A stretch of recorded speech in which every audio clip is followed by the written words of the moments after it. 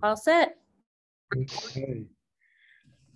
Welcome, folks. Thank you for joining us. Um, I'm Eric Kolaczyk. I'm the director of the Hariri Institute for Computing. And uh, we're really excited to welcome you to this next in our Did You Know You Could series. Uh, if you're new to us, uh, the Hariri Institute here, we're dedicated to leading integrated initiatives and researching technology development. Uh, we target a broad set of disciplines at the nexus of the computational and data sciences.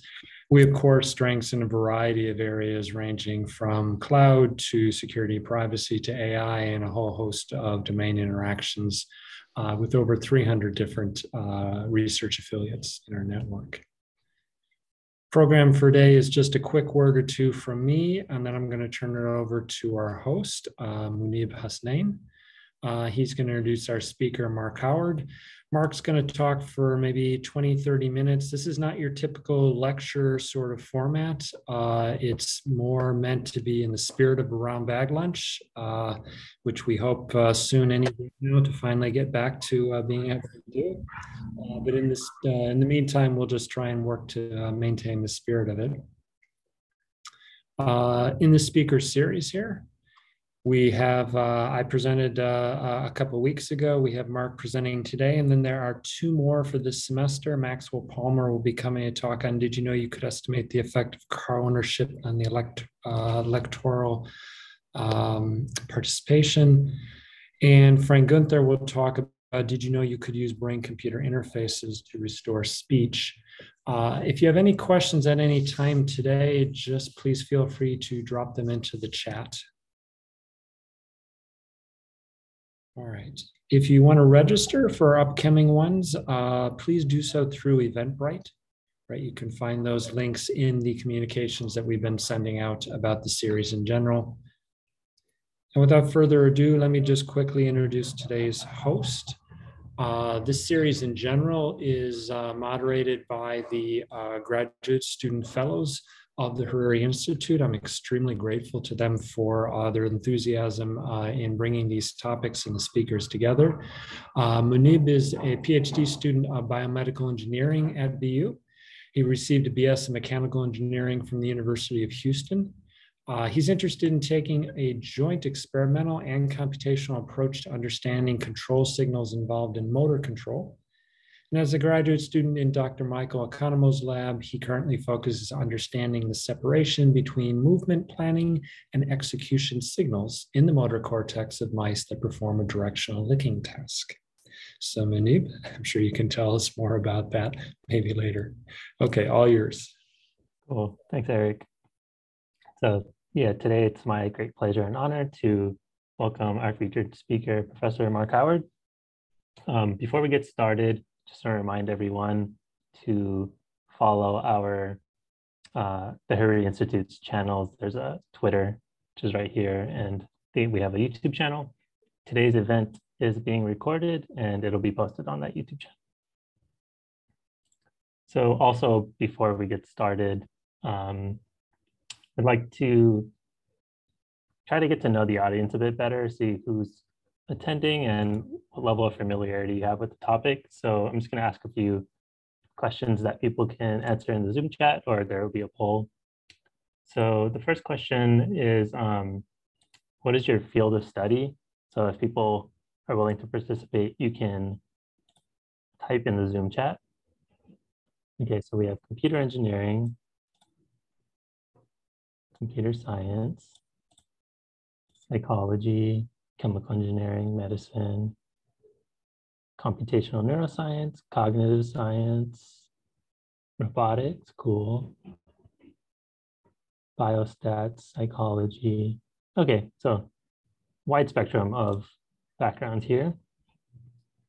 Okay, so next we'll do a quick Zoom poll. Um, and that question will be, what degree of familiarity do you have with today's subject? So AI and neuroscience. Take 30 seconds to a minute to answer this.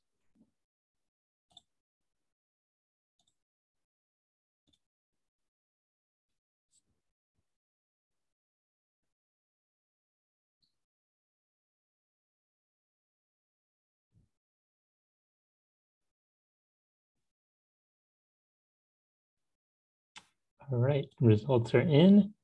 It looks like about a little more than half of the folks here have a little bit of knowledge about AI and neuroscience, and then kind of 10 to 15% for none, relatively familiar or very familiar. All right, and then the last question, another Zoom chat question will be, what do you hope to gain from today's presentation? So again, type in the Zoom chat, what do you hope to gain from today's presentation?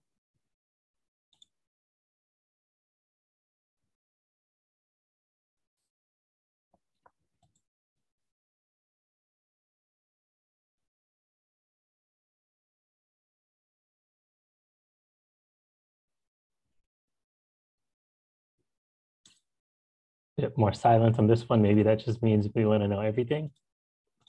What I want to know at least.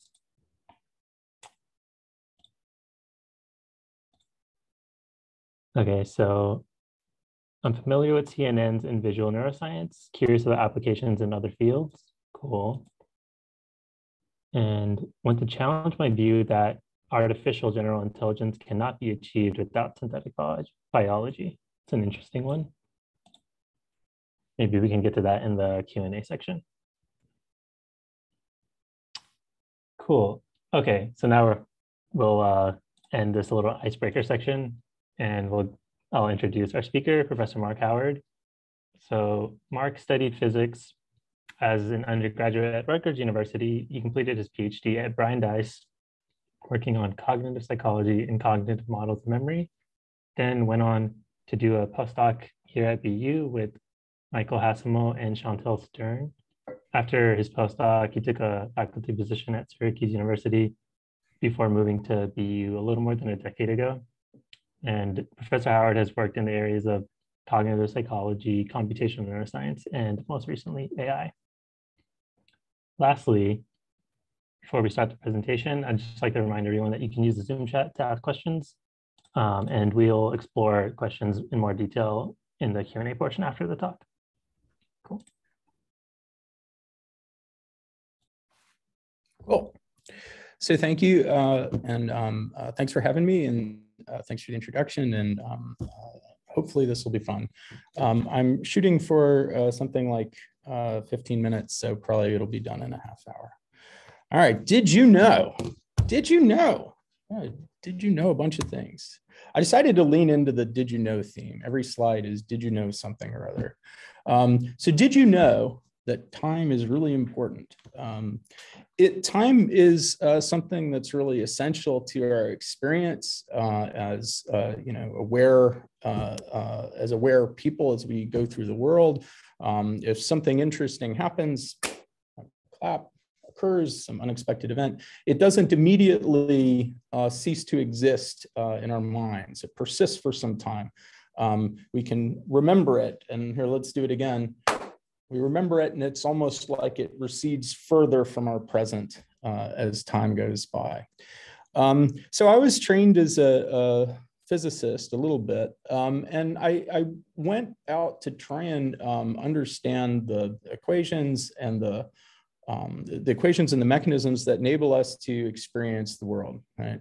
Um, and in doing so, uh, I've become convinced that it's essential to, to build a real theory to be really constrained by um, detailed uh, data uh, from psychology uh, and from neuroscience, uh, and then to take considerations from uh, theoretical, theoretical considerations in AI. And that only if you have a convergence of those three things do you have a chance of working out something that's more or less correct.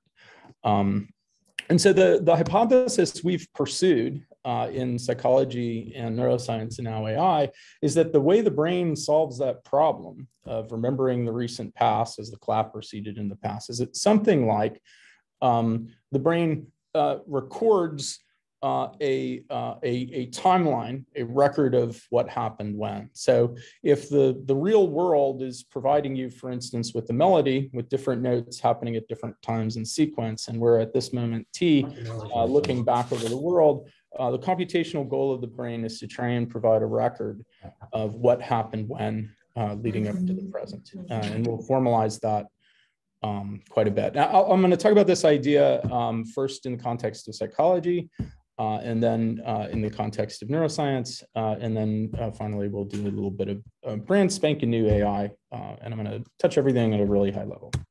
All right. So, did you know?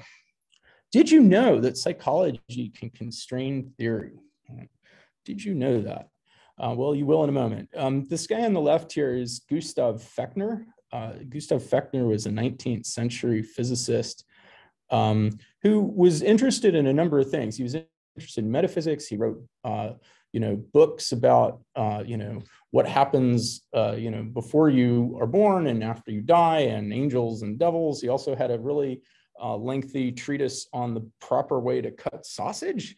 Uh, he was an interesting character.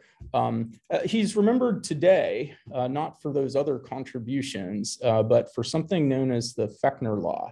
Uh, the Fechner law is really easy to describe. The Fechner law, uh, the Weber-Fechner law, is basically the observation that many psychological variables appear to be uh, as if uh, they take a logarithmic mapping uh, from things out in the physical world. Um, so, and, and this is really ubiquitous and, and, you know, we've known this for a really long time. For instance, the reason um, that uh, we measure the loudness of sounds on uh, in decibels, right, is because our perception uh, is on a logarithmic scale. So each, uh, each multiplication uh, by a factor of 10 appears evenly spaced to us. Similarly, the reason why the notes on a, a piano keyboard um, are uh, the way they are uh, is because each octave sounds like the same distance to us. That's actually a doubling of frequency. So on a logarithmic scale, those seem even, right? And this is uh, something that's been known for a really long time. And Fechner, um, Fechner understood the Fechner law as a means to uh, create a coordinate transformation between the physical world out there, right, uh, and our internal experience uh, in here, right? So the amplitude of uh, different stimuli. And the Fechner law is pretty general. Um, so we, as uh, good uh, working psychologists, uh, trying to be, you know, careful scientists, about a decade ago, um, we made the hypothesis that um, this timeline also obeys uh, the Fechner law, right? here, let me go back to the little picture I was showing. Um, I've, I've drawn this here to be I've drawn this uh, to be sort of compressed uh, on purpose, right?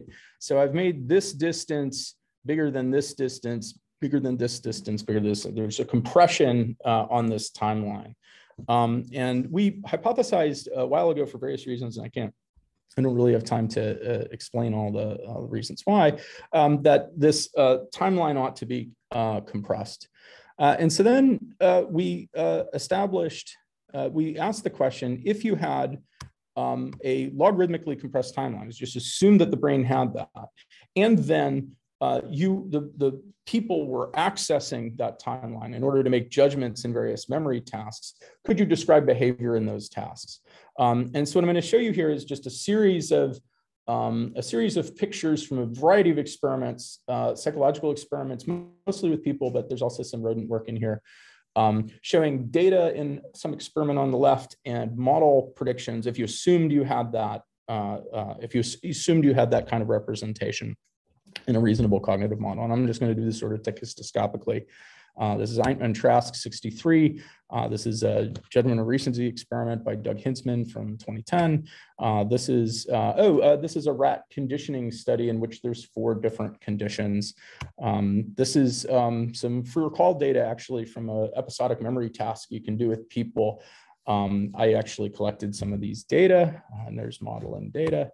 Um, oh, and this is a really nice one. I'll, I'll take a moment and uh, pause on this one because it gives you some flavor for why this works.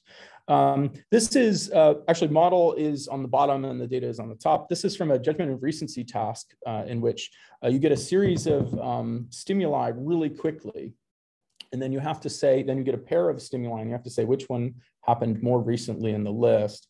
Um, and the behavioral results look exactly as if the way you uh, approach this uh, task is that you have some memory for the past. You take the two probes and you compare the probes sequentially to different parts of the past timeline and you stop when you find a match. And we've known about that for a really long time. Um, what you see on the right, actually, you can sort of appreciate, um, I think you can appreciate this uh, result. um, the response time, the amount of time it takes you to find a probe, um, goes up like log of its time in the past, right? Uh, so it's as if you take your probes, you compare them to memory, you step along sequentially. However, the steps get bigger and bigger and bigger, one, two, four, eight, uh, 16, 32, um, as if there's a logarithmic scale for time. And the, if you assume that there is a logarithmic scale for the recent past, uh, you can make really great sense of these data.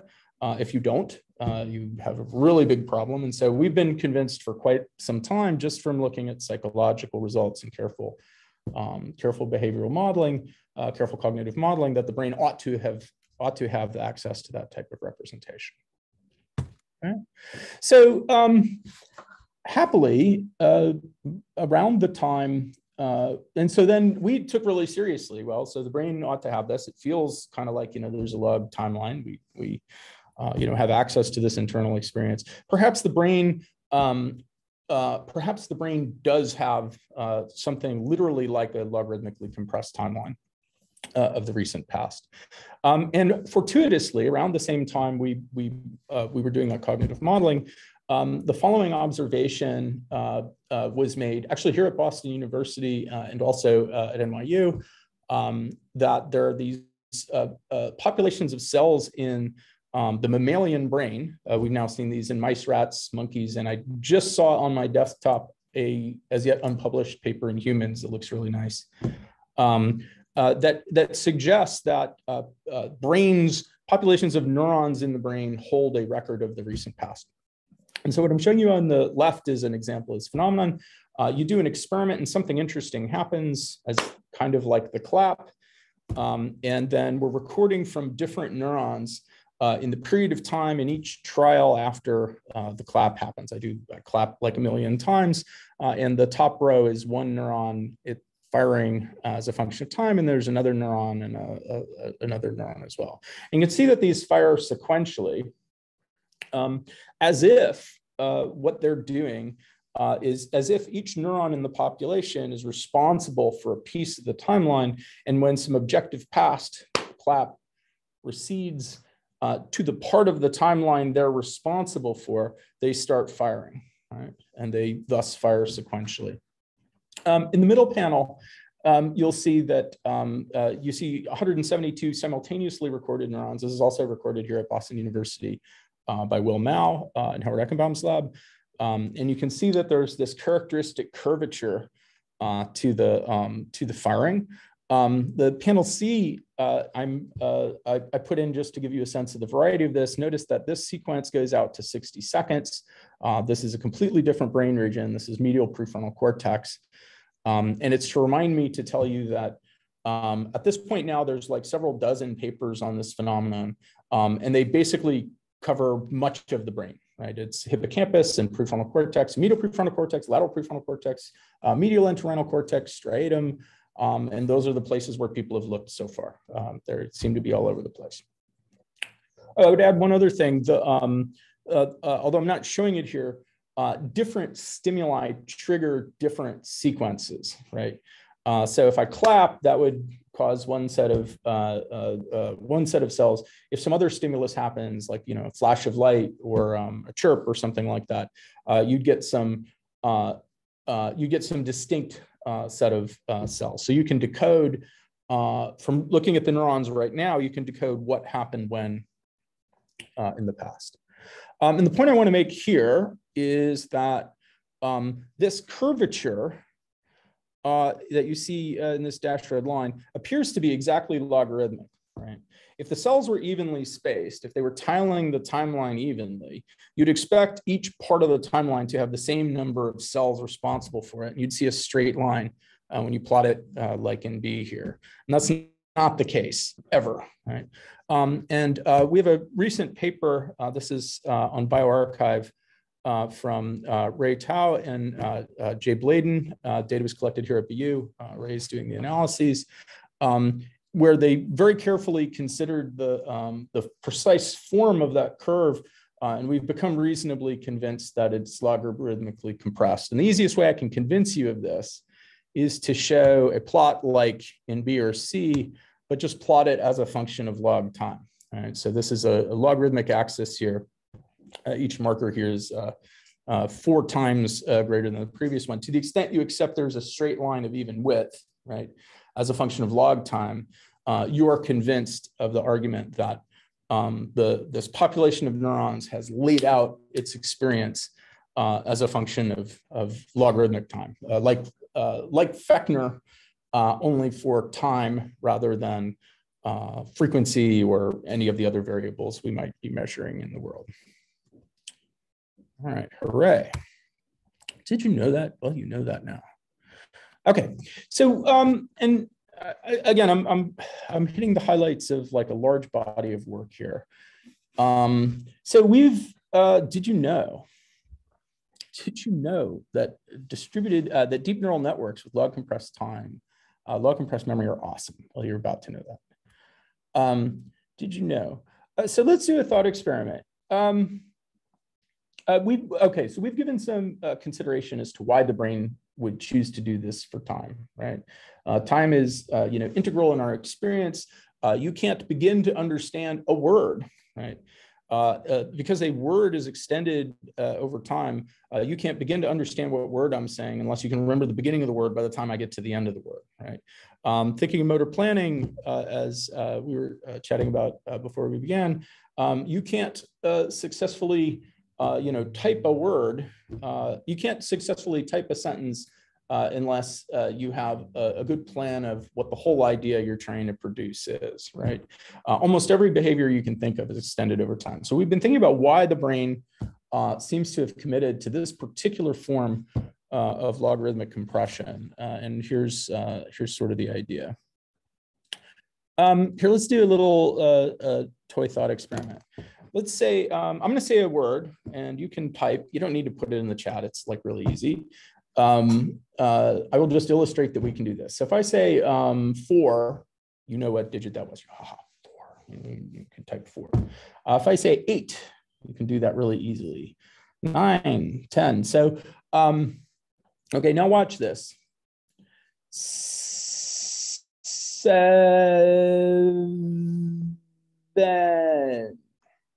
did you get that one? What what what number was that?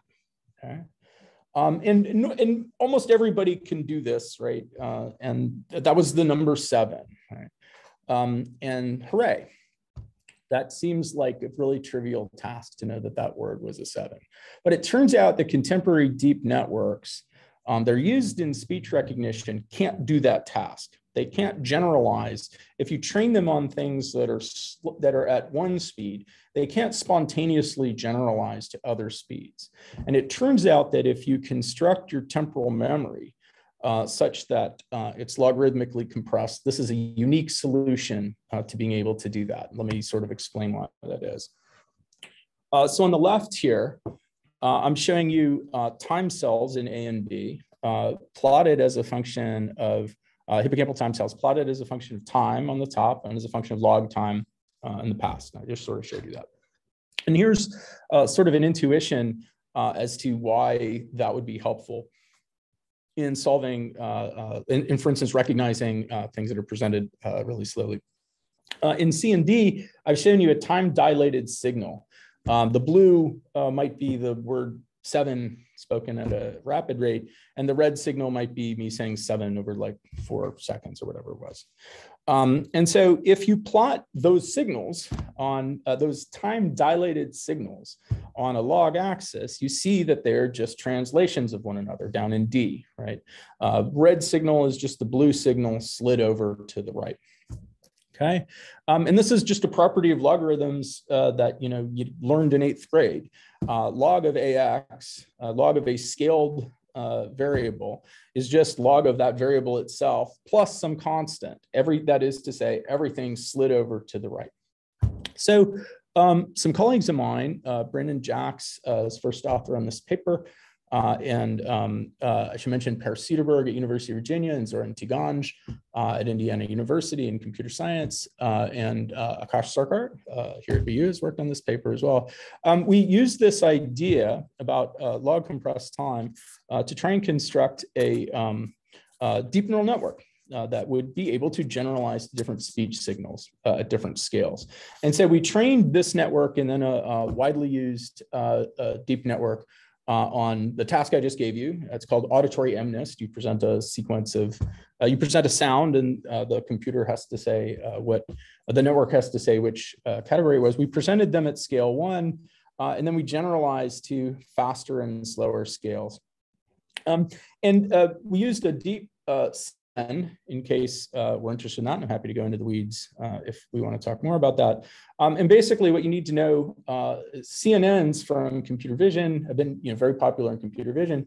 They, they are built in such a way that they uh, are invariant to where you find the features in an image. So it doesn't matter if there's a, octopus over here or over here or over here, it still notices that that's an octopus uh, and returns uh, where its location is for these conjunctions of features. And so because rescaling time just translates a pattern, okay, uh, on uh, this log time axis, like here in D, um, then we should be able to exploit that trick to generalize uh, time.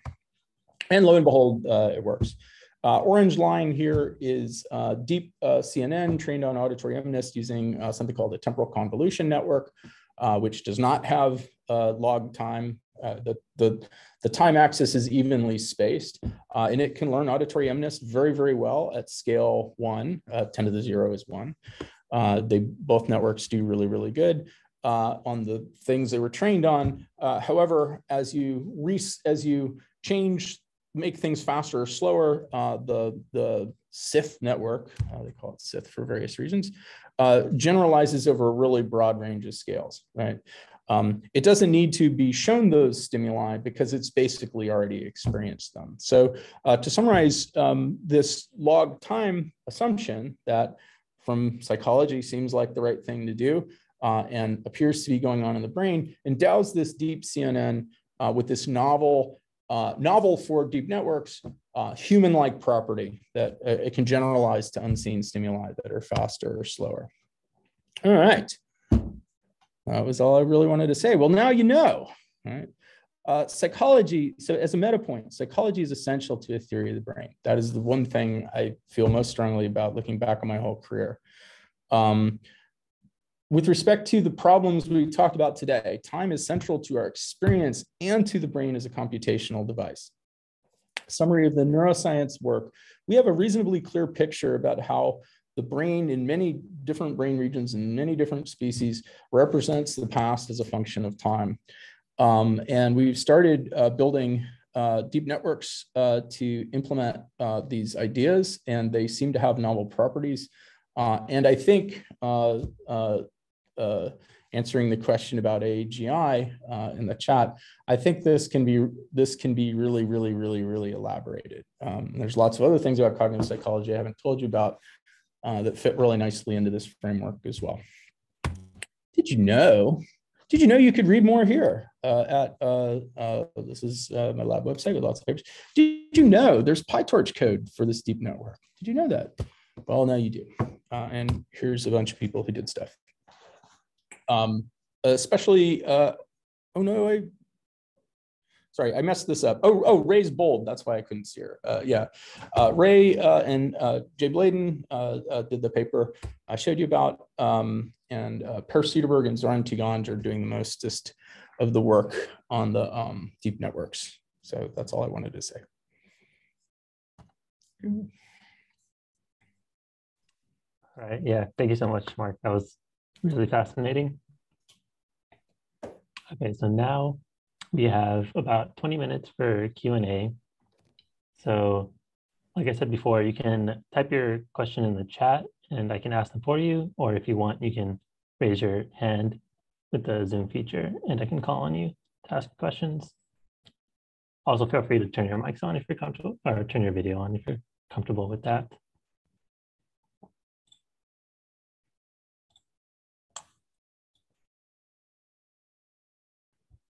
And maybe I can start with the with the question while people are um, getting their thoughts together. So, um, in trying to study neuroscience with deep neural networks, I think the biggest criticism or one of the bigger criticisms I hear a lot is like, well, the brain doesn't do backprop or, you know, the forward and backward passes of uh, backprop don't really make sense in terms of how the brain does learning. So like what, I guess, how do you address that criticism?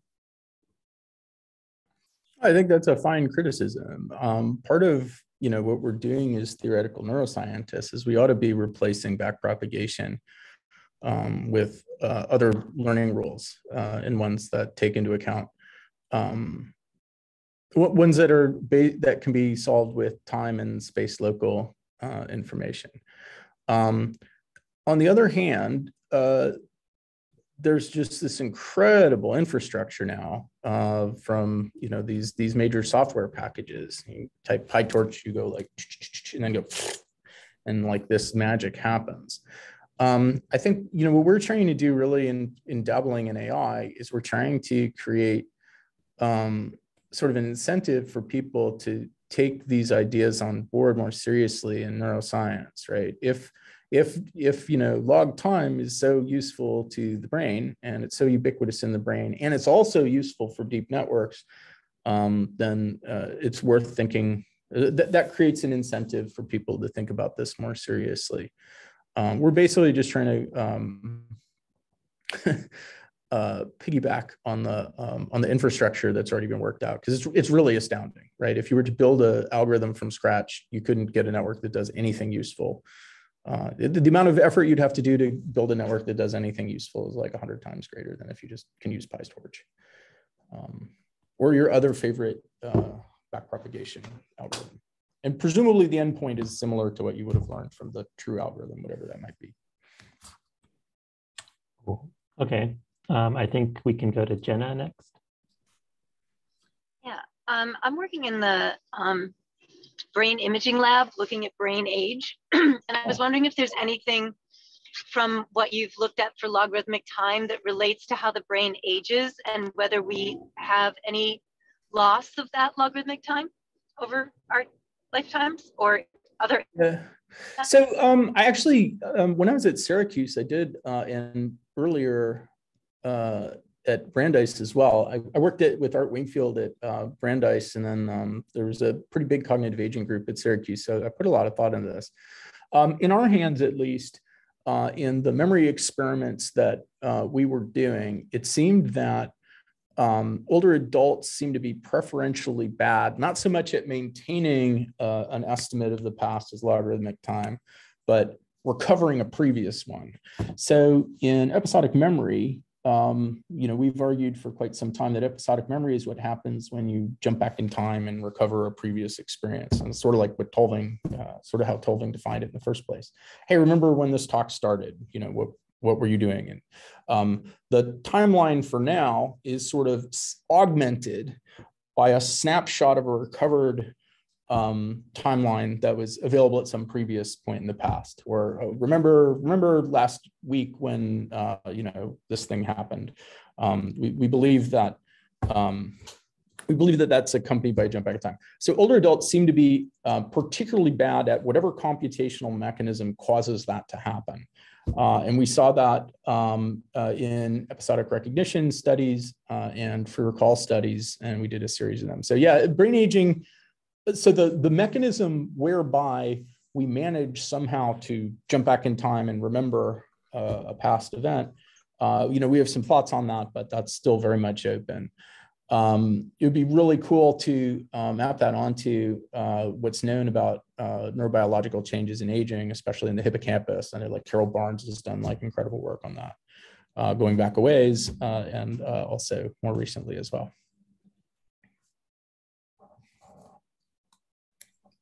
All right. Yeah, thank you. That was that was very interesting. Cool. Uh, and um, as, as I, I, one of the things I feel bad about is this talk, and also uh, I, I, didn't put in as many references as I, as I might have liked. So feel very free to follow up, and I'd be glad to send you papers um, about any of this stuff. Cool. Thank you, Eric. Do you want to ask a question?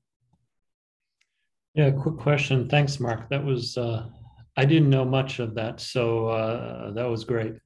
Um, can you tell me with the last plot, which was, I thought, very intriguing, the way you had the accuracy across many rescalings, is your methodology robust to um, uh, non-stationary scaling in the sense that we're was was the proof of concept there for uh, for any given rescaling of the uh, of time the methodology the, the net is able to do a good job or is it uh, then in fact if i speak more stretched out and then compressed and then more stretched out that it can also uh, adapt to that?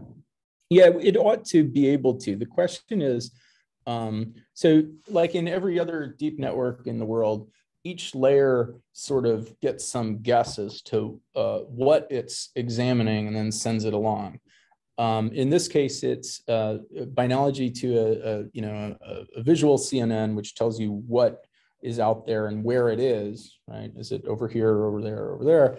Um, this network is sending along what was that a phoneme? Uh, which phoneme was that? Uh, and then how fast was it? Uh, fast, uh, fast or slow? The scaling A serves the role of uh, position. so yeah, it ought to. we haven't tested that out. Um, to come back to your other question about non so yeah as long as the as long as the functional units whatever that means um, sort of share a scale right? So if you said one word fast and then slow that should be fine. Um, if you had a word uh, and you spoke different parts of it fast and slow within the same word and the different phonemes uh, depending on how the as long as the functional units within each level are intact maybe you know a phoneme level it should be okay it should generalize just fine.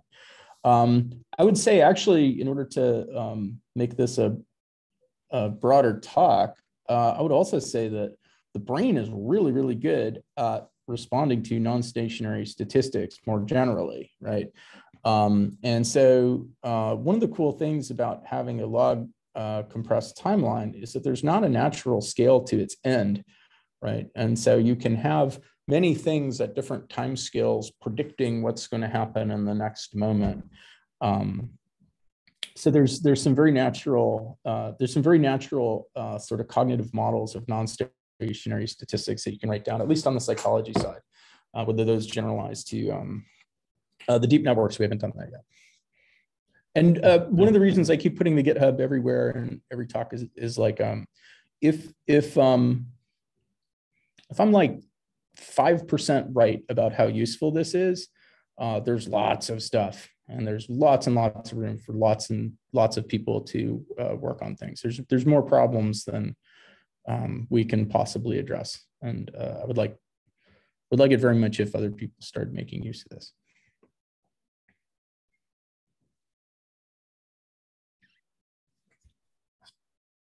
stop share. Hold on.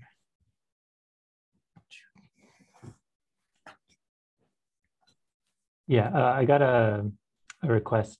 Marc, do you think you could maybe put that GitHub link in the Zoom chat? Yes, possibly. Figure out how to do the chat. But yes, I can find it too. In principle, yes. And again, reminder, if you have questions, raise your hand or place them in the chat.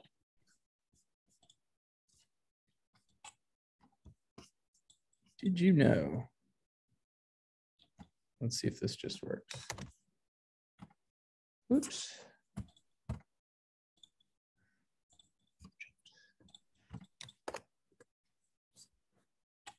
Cool.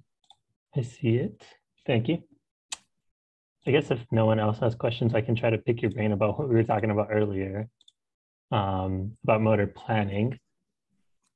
So you said that you found that there's multiple time scales of motor planning in mouse motor cortex. Is that right? Yeah. Yeah. What what does that sort of look like? Because I've, I've seen some other studies that show that um, if you sort of randomize this like delay period where you're asking the mouse to hold this decision, right? um, if you randomize that time, um, then the mouse kind of just prepares instantly. So there isn't sort of like this ramping activity. It's kind of an instantaneous ramp. So I was wondering um, if you found those distinct time scales in a sort of a uniform delay period, and also. Um, oh, um, uniform in a in this experiment there was a constant delay period that could be appropriately timed, uh, and that might be important. Um, yeah. Okay. More generally, like we can play the same trick. Um, so in the hippocampus, um, there are time cells. There are also place cells. Right? Uh, there's also, um, you know, uh, uh, cognitive map cells that, uh, you know, carry evidence about the, the carry uh, cumulative evidence uh, for how certain an animal is of its upcoming decision, let's say. Um, it seems that um, those other variables are also logarithmically compressed. We haven't, sorry, we haven't uh, said that it's precisely logarithmic function, but they look about the same, right? If I, I could make you a plot of uh, place cells, and if I showed it like that way relative to some landmark, um, you would see the same type of curvature and you would go, haha. Uh, and approaching a landmark, a goal, uh, as it were, you see sort of a reverse curvature. Right? Um, evidence uh, imagine uh, you have an animal. Uh, this is a paper by uh, Nieh et al. I was in Nature last summer, uh, maybe the summer before. I'm losing track of time. Um, in which the animal had to keep track of how many towers it passed in some virtual hallway. Um, and the, the, there were cells that had receptive fields that tiled the evidence axis, right? And they also showed this kind of curvature uh, as well. So I think um, what I'd really like to get uh, to thinking about um, is a, a more general framework in which quantities in the brain, how long is it until I have to make this movement? Okay. Um, how, how long is it until I have to be prepared to execute this movement? Let's say. Um, how far am I from my home cage when I started this journey on the track. Um, how close am I to being certain about what decision I want to make in this environment with many changing things?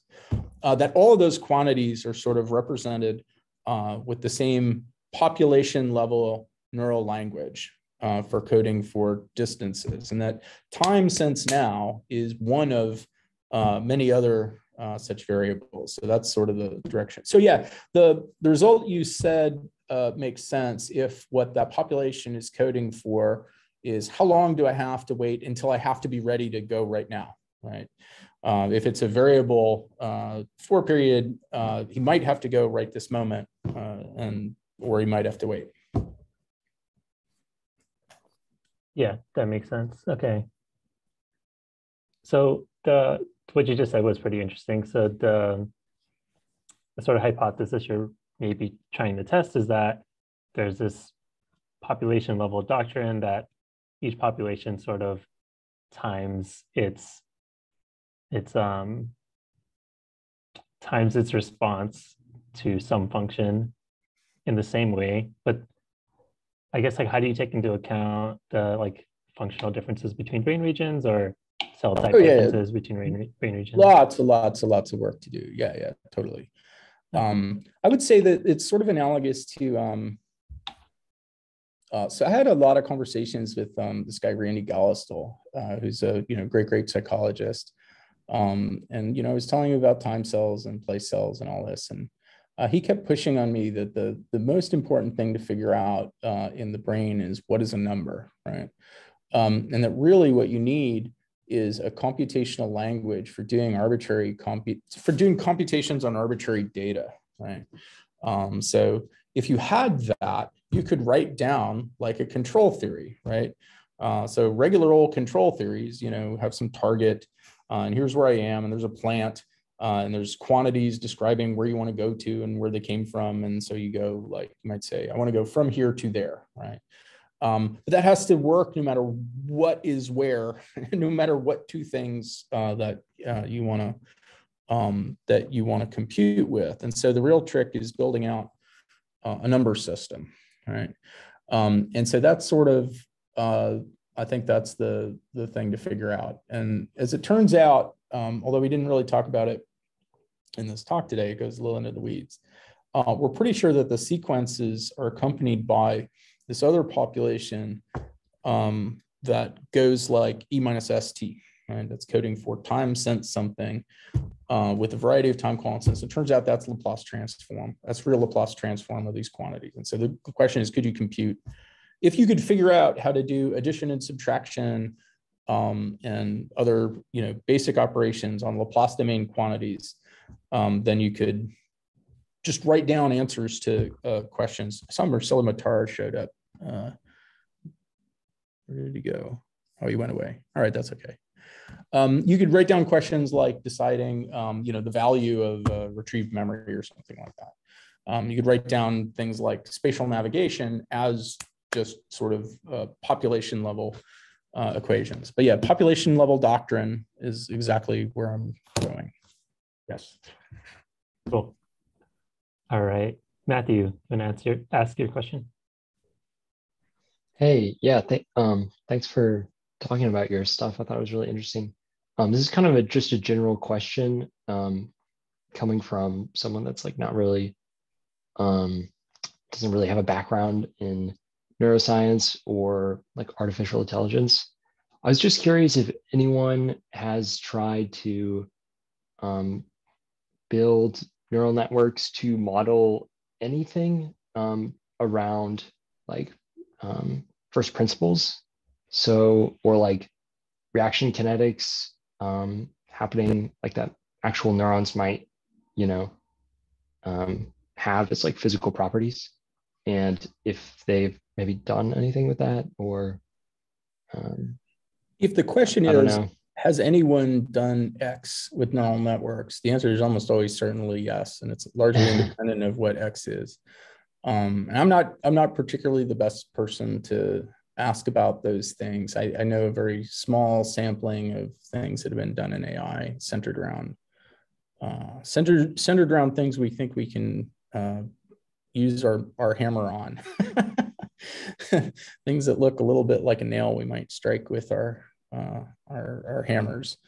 Um, so probably, I know there's lots of people who've done uh, neural networks. I saw a really cool talk by um, Tess Smidt, uh, who's a professor of physics at MIT, um, and she's building um, uh, she's building um, uh, neural networks that uh, obey symmetry relationships in order to uh, use in order to build out faster faster networks for understanding um, uh, like protein structure in the context of computational chemistry. That might be a starting point to uh, get to uh, reaction kinetics or something. But yeah, somebody's probably done it. Uh, I'm I, I, can't necessarily me me not knowing uh, is not evidence of absence. The interface with physics and chemistry has has heated up quite a bit in the last five years. Yeah. I'm, I, I also am not an expert in the area, so I don't know if it's specifically where that meets uh, neuroscience at the neuronal level, but definitely, uh, you know, blending physical models, working at various scales of physical space from atomic upward. Um, that's that's a very heated area. I think you can find a, a good bit now these days. Okay. Still growing though. Yeah. Okay. Thanks. It's certainly worth looking. yeah.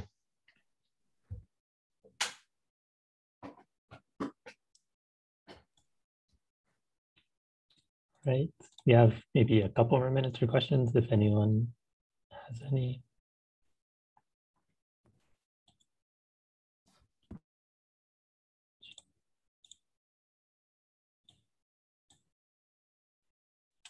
Sounds like people don't have questions and I'm I'm also out of questions. Um, so maybe we can wrap up here with some closing remarks. Sounds good. Let's see. All right, yeah. So I just want to remind everyone that the video today will be, from today, will be posted on the Hariri Institute's YouTube channel. Check that out. Um, and then on behalf of all the graduate student fellows who I think there's some of us scattered throughout here, um, thank you for attending. And lastly, there's another Did You Know You Could on Thursday, March 3rd It, the topic is, did you know you could estimate the effect of car ownership on electoral participation? Sounds very interesting. Um, so that event's going to be from 1 to 2 p.m. on Zoom. Register via Eventbrite if you're interested in attending. The speaker will be Maxwell Palmer from the Political Science Department. Cool. Thanks everyone for coming.